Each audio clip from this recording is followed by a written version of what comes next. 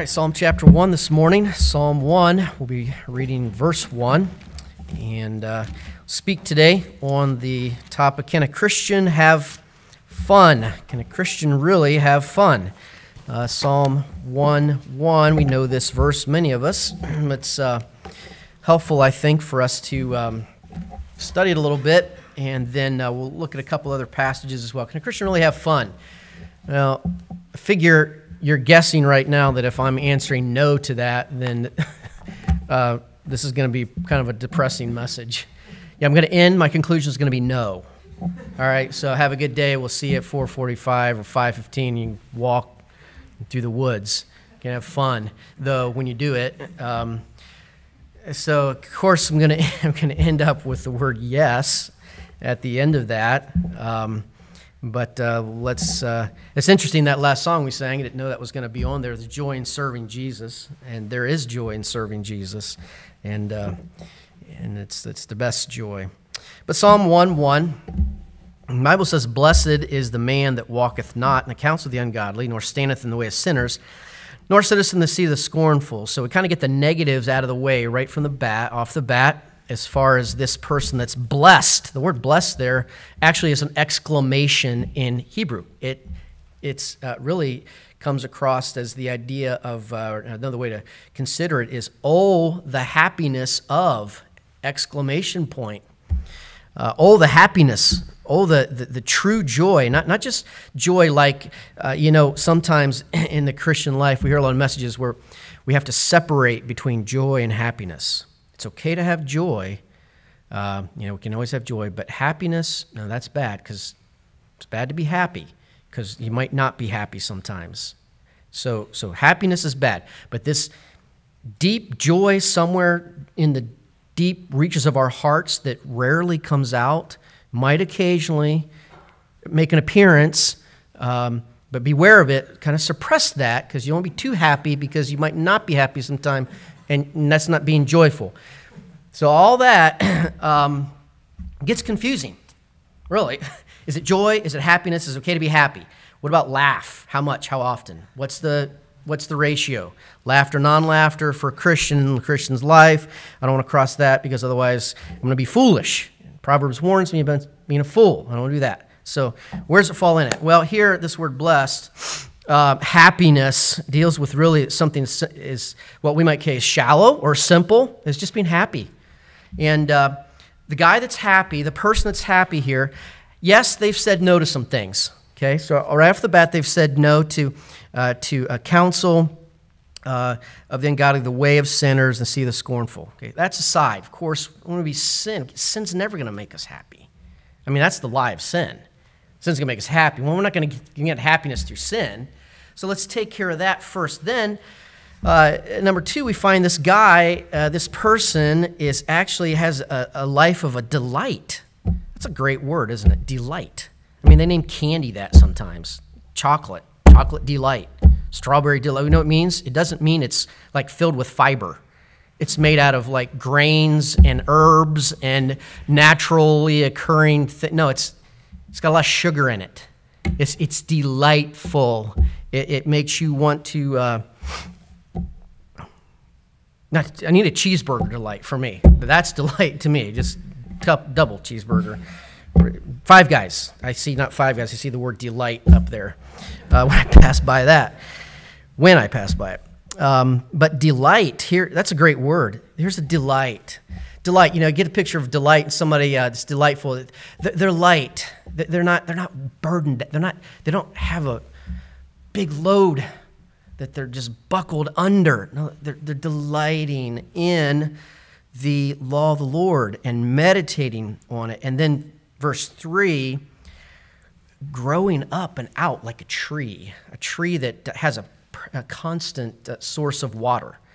Uh, it's planted by the rivers of water. So, so that means that the roots are down near the riverbank so that whether it's raining or not, they always have the water source.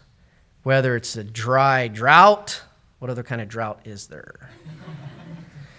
whether it's a drought or whether it's rainy season, they, they can, they, they, they're not subject to that. because their roots are by a permanent water source. And so that's, that's the uh, delight of the person. Yes, they've said no to sin, but uh, they're delighting in the law of the Lord. They're, they're thinking, they're meditating on it day and night. They're like a tree planted by the rivers of water. It's uh, uh, here the ability to bring forth fruit. That's something valuable that comes from it. But I like this too.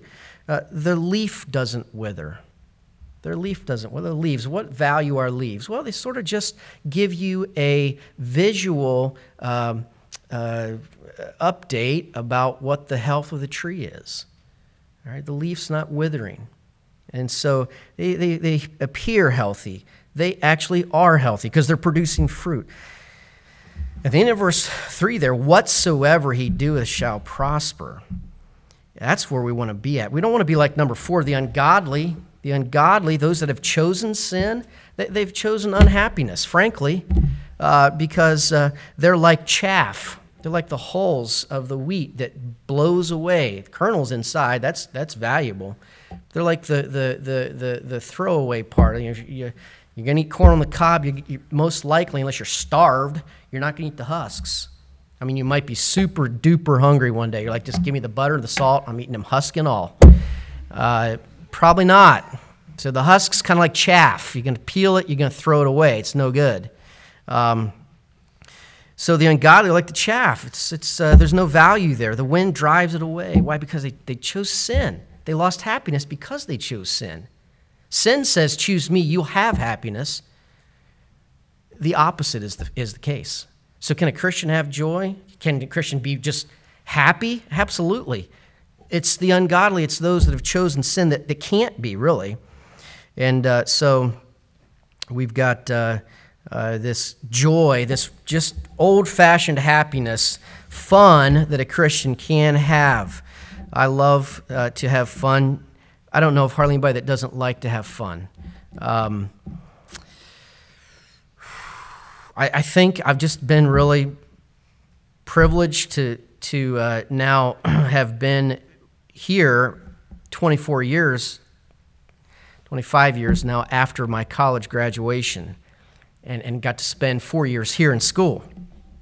So I'm kind of walking around, and the things are obviously a little different now. As uh, one of the preachers said, said used to be a gym in here. A lot of memories from this gym back in the day. Um, but things bring up memories. Um, I'm on night guard still till for another five years. That's that's that's that makes me happy. See my smile. Okay, there we go. Um, but you know. Uh, if you think, let's just say this if you think Pastor Damron is, is like energetic now, you should have seen him in 1990 as a sophomore in college. Uh, Mr. Olson, um, Dr. Vogelin, up here leading, yeah. Okay, so back in the day, that's a famous phrase. Um, I'll just tell you, there was a lot of fun happening. Don't think we broke too many rules on purpose for long. um, I, you know, the misnomer that there's no fun in, in serving the Lord. Um, I have a buddy who runs the finances of a church of, I don't know, 1,000, Christian school of 400 out in Virginia. We went to college together here, four years, we graduated together. And uh, co workers at a local grocery store um, that happened to put their glow in the dark, full face skull masks on sale around this time of year. And they let us off work at midnight after we closed we had to get from the grocery store home. We rode bikes. I'm not joking. We bought bikes and rode bikes to work all the way, all the way into Chesterton. Two miles. Whoa. I mean, I'm glad we don't applause in here because I know right now you're holding it back from that tremendous skill of athleticism and dexterity we're on our bikes at midnight. didn't ask for them to put the full face, glow in the dark skull mask on sale. They just did. Not good with our money, apparently, that night. But we had to get home. It was chilly because it was fall. Wear a hoodie, right? You wear a hoodie when it's fall, right? You wear a hoodie, you know, the hood. So uh, if you put those masks by the light too, does it like some like chemical, you know, interaction take place and it makes them glow more? Is that like an old wives' tale? I don't know. It worked good that night. So we put the glowing masks on. Just riding back to Fairhaven down the roads of Chesterton at 12:30 a.m.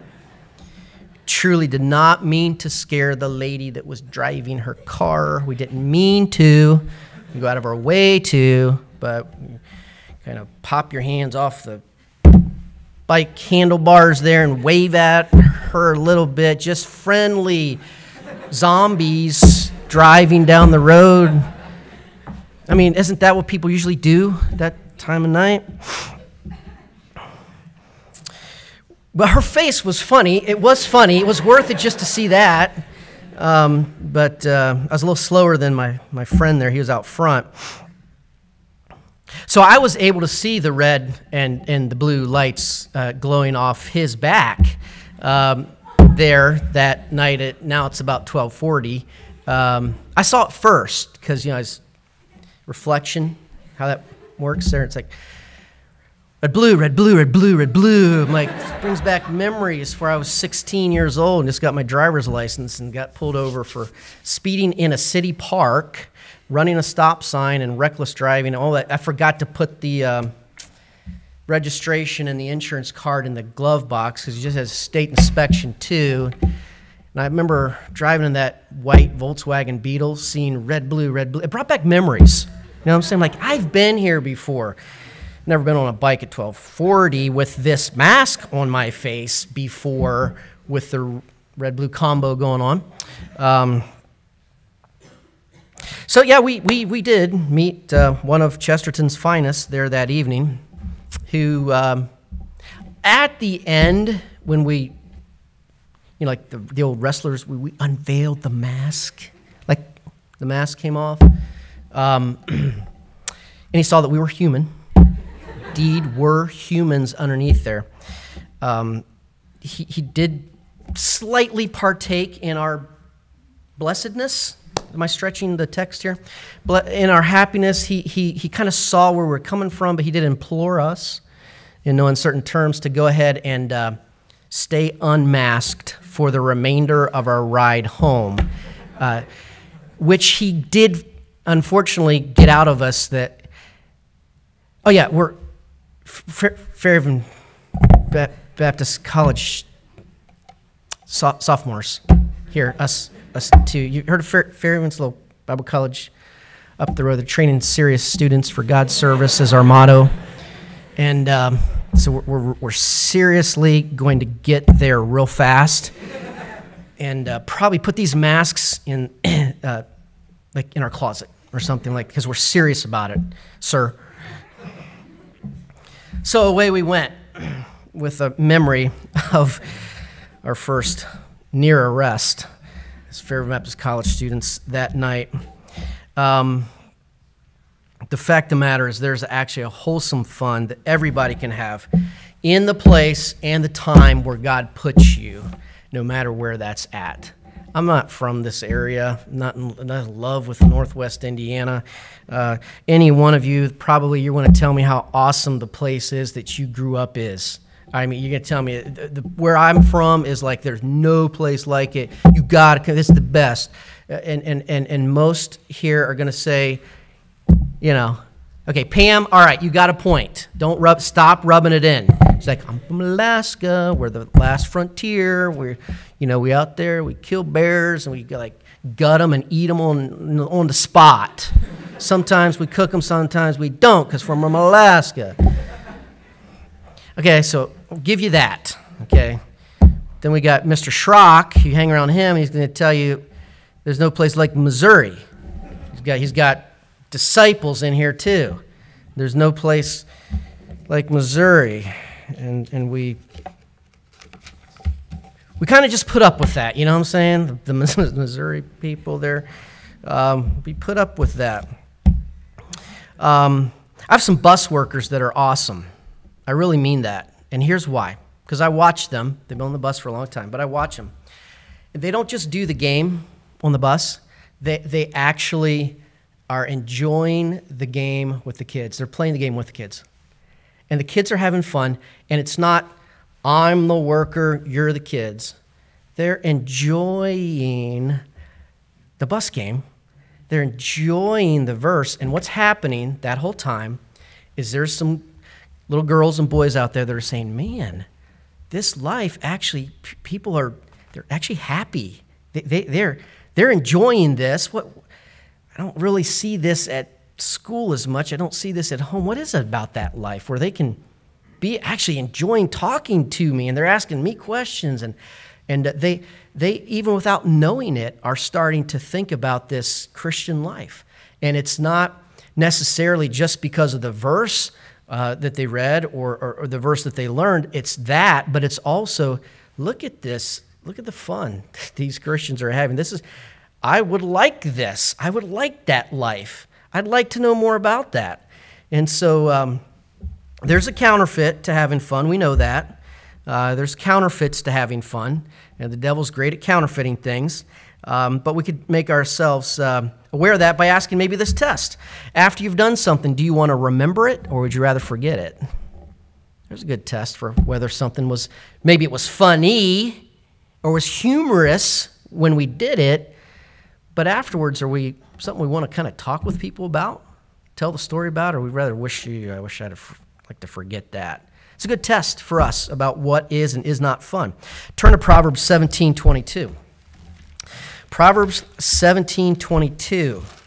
Oh, by the way, in college, it also helped. yeah. John Titus bringing the, K, uh, the, the long johns home at 1230, you know, meeting in the bathroom there and he had the leftover chicken and fish and hush puppies from, from LJS. It settled in just fine till the next morning. That's when you just got to rinse it down with that two liter Mountain Dew. Why, why put it in a cup when you're going to drink the whole thing anyway? You know what I'm saying? Merry heart, Bible says here, Proverbs 17 22, a merry heart doeth good like a medicine, but a broken spirit drieth bones. I do think there's a kind of correlation to happiness and health, um, and to sourness and, um, uh, and, and being ill or sick. The Bible here says, A merry heart does good like a medicine. Uh, joy and happiness, wholesome fun um, is a medicine. It's, I think, an antibiotic. It fights off a lot of things when our heart is truly joyful. One of the things that takes joy away from our heart is when we're doing things or we're saying things or we've done things that bring guilt. Guilt will just be like a heavy load on our heart uh, and work against um, work against us. It's our enemy. Um, but to combat that, we combat that with confession and then with just living clean and having fun along the way. Um, no one wants to go through life miserable. No one wants to uh, uh, be around people that are miserable. But God gave us the capacity to enjoy things. We can be joyful. Paul says this in Philippians. Uh, some Bible commands. Number one, rejoice. Number two, be exceeding glad. That's not just be glad, that's be exceeding glad. Number three, uh, be blessed or happy as we see here in Psalm 1:1. What are some steps, practical, very practical steps to happiness uh, that we can see uh, today? Some steps to being happy. Uh, number one is don't sit around. Don't sit around. The Bible says the best ability, or not the Bible, a man once said the best ability is availability. This is volunteering. This is uh, uh, when the, you get home in the summer and the church uh, has a sign up sheet for cutting the grass sign up on there and, and, and help uh, be a part of that cutting the grass. Uh, let your name, if it's something over Christmas, the church put, the, anytime there's a sign up sheet for something at, at, at, at home, put, put your name on it. Volunteer for that. Are you going to have VBS? Cookies and make cookies for VBS. Put your name down a couple times. It's not that hard, right? I mean, two dozen, one dozen. I mean, just make cookies and bring volunteer. Look for that opportunity to to to, to jump uh, in their missionary projects. Maybe your boxes for missionaries or letters to missionaries. Uh, Christmas cards uh, to missionary kids. Ladies can write, write the wives of the, of the missionaries. That's great encouragement uh, to get good news from a far country. And it doesn't take much time, it just takes a little bit of initiative and volunteering uh, for that. Uh, be the type of guy that lends a hand. I, you ever met somebody like that? I, I, I was blessed to have a grandfather who was like, I mean, he was just ready to lend a hand anytime with whatever needed to be done. It could, he might not even know about it, but if something was going on, he's just the type of guy that's there. Hey, what are you doing? What do you, what do you need? Those type of people are invaluable to have, especially uh, in, a, in a church. Just be that lend a hand type of person. Um, a few years back, I got to visit the Olsons in Zambia, and uh, we, uh, through the course of the couple weeks there, drove a lot of places. I was talking with Mr. Olson about some old college memories, and uh, one of the first memories I have of him was we got here, and in the fall, we used to uh, have a farmer that uh, had a that grew lots of watermelons and would sell them to us real cheap. So one of the uh, days in the fall was uh, to give every uh, a lot of kids got watermelons. I think most did, maybe all. Anyway, um, but you know they didn't magically just appear here at church. They had to be. We had to go to the field. We took a couple buses, and uh, we would then make the uh, the uh, the lineup. So somebody's down there in the watermelon. Is it a patch? Pumpkin patch. And is a watermelon patch too? Do pumpkins and watermelons share that term, patch? It works for both. Anyway, uh, I just know they were down there and it re- required bending over in, in the uh, mosquito infested field. And we had to do it in the evening when the mosquitoes were, were like, yeah, bring on the Fairhaven kids. Been waiting all year for this feast. And uh, so you're getting sprayed with uh, bug spray, and the fields are mm, very muddy, and we're throwing watermelons back and forth. I'm thinking I signed up for Bible college, and I am passing watermelons between Mr. Olson and this guy that I don't even know who he is. How you doing, Mr. Olson? I, hi, I'm not sure who you are for several hours, filling a bus full of watermelons. So people are on the bus, handing watermelons over top of the bus seats, putting them under the floor and on the seats, and stacking the watermelons. The bus was filthy. We were filthy. But I remember Mr. Olson and I side by side there, and we talk about that night. He wore a shirt. He's Swedish. And his shirt was, You can tell a Swede, but you can't tell him much. Oh, well, that's what it said, you know. So one of those statement shirts is like, Okay, you're Swedish. Can't tell you much. I see that. Um, so we talked about the happiness from just jumping in, volunteering. Not everybody got to go, not everybody could go, but some didn't go that could have, but they missed out. Because jumping in and, and, and not sitting around and getting going and being a doer always brings happiness as opposed to being a, a spectator or a hold back person. So don't sit around. Number two, like this, steps to happiness is participate. Jump in the action. But I'll look dumb, people say. But I'll look dumb. Did you check the mirror out this morning anyway? You're preloaded with that. So might as well be active looking dumb than sitting there looking dumb. That's all of us. Participating makes you an interesting person. Makes you an interesting person. Gives you experiences to learn from and to teach others about. You're not going to learn and have experiences to teach others, particularly maybe of your children one day, if you're not a participator. Kids, back in the day, let me tell you what I did. Had this chair, really comfortable. I could sit in that chair like a boss. I'm telling you, no one sat in that chair like moi. You should see the way occasionally I crossed my legs. it made it onto Skipple one year. Didn't quite make it in the yearbook. Still bitter about that. It's my one chance to get my legs crossed, maneuver in the yearbook. But I'm telling you, kids, that chair. Someday, you grow up and be like me. Get you a chair. Use it thoroughly, completely, in every possible way. Hit the chair. Um, participation gives you experiences to learn from. It teaches you to work with others, right? Participation teaches you to work with others. In the ministry, you're going to be working with others. Uh, in every any aspect of the ministry, a good layman's going to be working with others. You're going to get married one day. You're going to be working with at least one other. Uh, it develops your leadership abilities when you participate, and it gives you poise, gives you confidence when you participate. Jump in the action. Number three, try something new.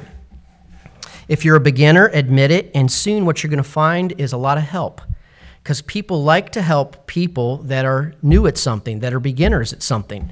Um, for instance, if you're teaching, any of us that are teaching class, if a, if a student comes up and wants to talk about the subject that's going on or has questions, or what about this book, or what, that's joy for a teacher. I mean, what happens Teachers generally are teaching only a tiny bit of what they've studied because time constraints.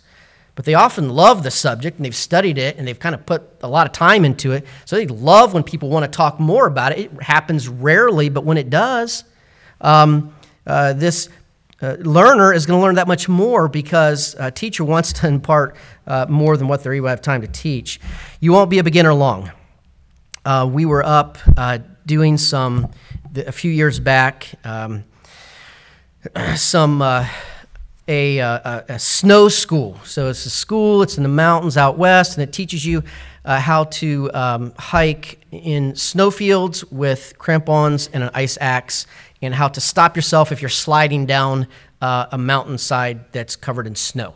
And snow safety. We're up about 12,000 feet doing this little class. And the guy that was the teacher told us that not long before the Navy SEALs sent the new recruits up there because among the, all the areas that they have to be experts at, it's this because they may be dropped into a alpine area and they have to know what to do and how to traverse snowfields, etc. And uh, he said that many of these guys had never even skied before. And so, in addition to learning how to uh, safely walk on alpine mountains, uh, they had to learn how to ski. And they're like going to like a quadruple black, what we would say a quadruple black diamond for their first time ever. And he said, though, he said, as soon as I got up there, I said, I knew I had a different breed of guys here because they are like on the edge of their seats, taking in everything that I'm saying, just waiting for me to say, okay, now you guys ski on down. And as soon as he said go, boom, off they went. Down, he says, no, they didn't look good. Uh, it, they went down probably a little too fast for their good or anybody else's good that's beneath them. Uh, but they were in. They were just ready to jump in and just go for it. Um, so the moral of the story is, um, just go ski and uh, go to the top of the mountain. Close your eyes and hope for the best. Um, but they had that spirit in them that's going to try something new. Sorry if, it's if it's new. I'm just going to try it. I'm going to do it. Um, and that's how we learn. That's how we expand ourselves. Letter D, remember that your enjoyment, your happiness can be anywhere. Went to college with a guy who grew up in the desert, in the southwest, desert southwest, but in the desert of the desert southwest. And he was telling about how it was awesome. I mean, it was the best place he ever grew up. I mean, it was the best place to be. So I gave him that blank stare like that, but for longer. Um, and, uh, you know, the Christian school that I went to, I'm thank the Lord for 12 years at Freedom Christian School. It doesn't exist anymore. I'm sad about that. That's the best place. I, am so proud to be have been Freedom Christian School. People like you went to Christian school and you had uniforms. Yeah, I went to Christian school. I had uniforms. You didn't get to. It's not what I didn't get to do. It's what I did get to do. And it was on and on and on and on. And I am so grateful uh, for that. And we had a blast at Freedom Christian School. We had a blast in college. I mean, we had fun, and if fun is wrong, uh, I'm gonna have to confess a lot because Fairhaven Baptist College was was ex, was was was amazing, uh, and uh, you know, just getting around the right people and uh, pushing away some of the junk, getting rid of some of that sin out of the mind, words, thoughts, music, then there's this whole world of just absolute wonderful fun uh, that God has available uh, for us. Some things are not needed to have fun. We don't need to go to a worldly place to have fun. We don't need to play the fool to have fun. We don't need off color jokes or snickering about double meaning phrases to have fun. We don't need that to have fun. That's the devil's counterfeit fun. That's not necessary. It's like the devil who came to Eve and says, uh, "You know, God gave you God gave you these millions of trees, but you can't have fun unless you go to this one tree and eat of it. Then you're going to. But I know that's the way it is. The world wants to turn that around. The world wants to portray it like you can only do this one or two things, and then all this other stuff's off limits for you. That's not what the Bible pictures. The Bible pictures in the Garden of Eden, there's one tree sin. All the rest was theirs to freely eat, right? The devil's lie is that you're restricted to this and your happiness is really restricted and fun, good luck finding any of that. You're a Christian, you're an independent fundamental Baptist. You're not allowed to have fun. That's the devil's lie. It's the same thing he used on Eve. You're missing something, Eve. Yeah, God's holding. He's not good. He's keeping you from something that you really want that's going to be good. No, no, no. That's, no, it's not it. That's the opposite. It's the opposite. Um, so, there's some areas that maybe result in joy and happiness or in guilt and shame. So, here's some areas that we can have a great time Christian fun and enjoyment and happiness and rejoicing in, or they can be used by the devil's counterfeit to bring us guilt and shame. One is entertainment. Entertainment um, is a Bible word. Oh, entertainment? We're, we're going to talk about enter, entertainment. Well, that's a Bible word. The Bible says some have entertained angels on earth. Entertainment, biblically, uh, uh, means um, to show hospitality to. And um, so, sin is not fun, but entertainment can be fun entertainment that sin is not fun. Entertainment has every uh, potential of being uh, very fun. Use this time in college to make some personal decisions and erect some personal standards about TV, movies, DVD, and social media. Not college rules, your findings from the Bible, your personal standards. You erect fences. Don't just wait for everybody else to erect the fences of protection in your life. At some point, you need to grab some of those fence posts and say, mm, okay, I see this in Scripture. Here's, here's my fence post right here. Here it is. And uh, I'm going to put a fence line up right here. I'm going to protect from some stuff. I'm going to protect from this. Why? Because I don't want everything just walking through my life. I don't want everything and anything walking through my mind. I'm going to protect uh, this. I'm going to establish some personal, personal standards, personal decisions about these things. Lifelong decisions, not college rules. Use your Bible and an honest, clean heart.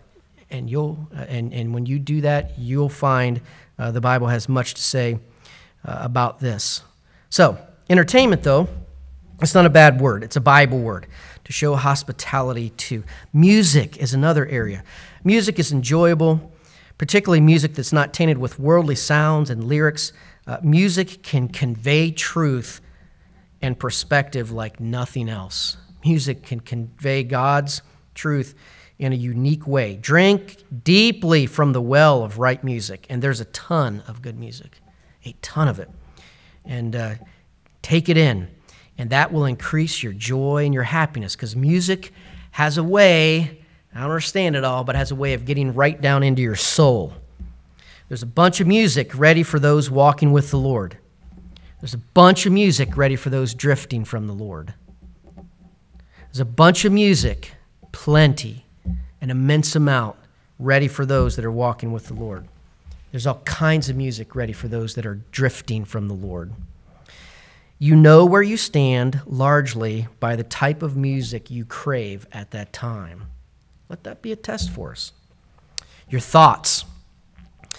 A world of joy and happiness exists in the thoughts of someone following Psalm 1:1. A world of joy and happiness exists in the thought life of someone that is following the Lord. Every area of Philippians 4:8 could be expanded a thousand, a thousand times. Finally, my brethren, what sort of things are, and you know the list.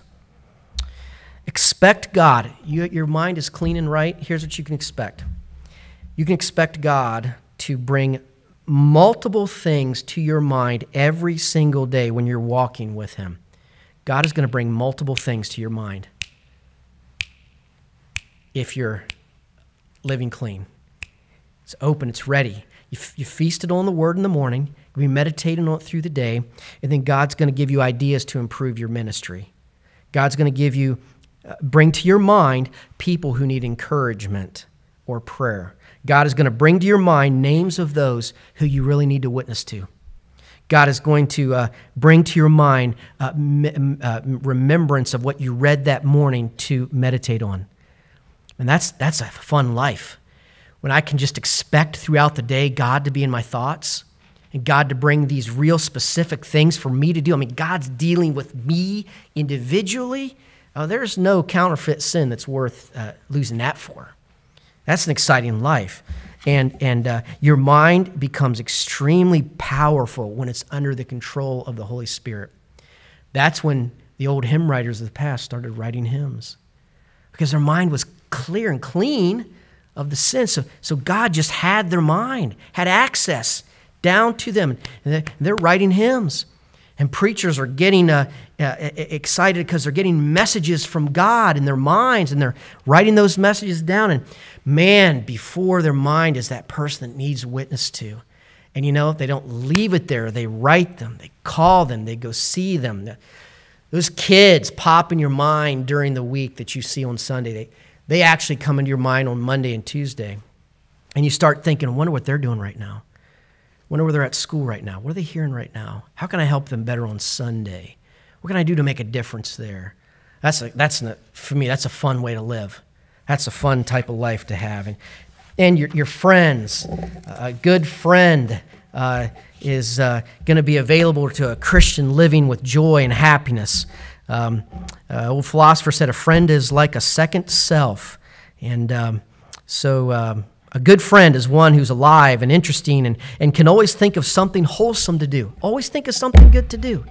Not settling for uh, something that's, uh, that's wrong or questionable, something good. It's a good friend. God will bring those into, uh, into your life. So, our question can a Christian have fun? I think we know the truth to that. A Christian can have fun the next question that follows in conclusion is, is will we? Will we have fun God's way? We can. We have a whole world, just like Eve. There was one thing God said, just stay away from that. Aside from that sin, Eve, you've got this whole world of joy and happiness. It's paradise. For a Christian, just stay away from the sin. You've got a whole world that the world the world cannot compare cannot compare to the tremendous, blessed happiness that comes to the Christian who's just going to uh, abstain from sin, but delight in God, delight in God's ways. God's going to use you. God will let you have fun along the way, too. Thank you, Lord, for your word. I